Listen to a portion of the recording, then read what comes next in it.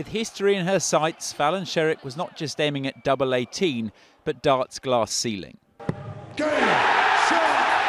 With that second arrow, the 25 year old from Milton Keynes became the first woman to beat a man at the PDC World Championships, a sport brought to its feet. It feels amazing to make history. Honestly, I can't put into words how like happy I am. Like I'm still in disbelief a little bit. It started to sink in yet? It's starting to sink in a bit more now after all the interviews that I've been doing and stuff. Uh, it's unbelievable. Like now, I'm starting to stutter my words because it's just hit me.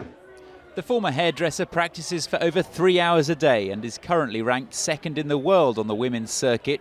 She says she's always had the game to take on the men, but never the opportunity. This is only the second year women have had qualifying spots at the World Championships, but only two in a field of 96. But Fallon Sherrock comes roaring back. Just makes me more determined because I want to be a part of that. We get like negative comments all the time about how women can't compete against men, we're not good enough. Well, I just proved that wrong last night.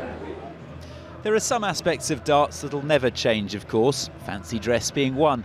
But amongst the die-hard fans at London's Alexandra Palace, Fallon's victory has clearly gone down well. We loved it. We sat watching it at home with the children and we were cheering her on every step of the way. Darts is a leveller, isn't it? It doesn't need strength, doesn't need brawn. I think the women should play all the time. So I'm going to put you on the spot now. Can you recreate last night's winning moment with a double 18? I'll give it a go. Can she do it? What do you think? There it is. The hope is that others can now too. Ivor Bennett, ITV News.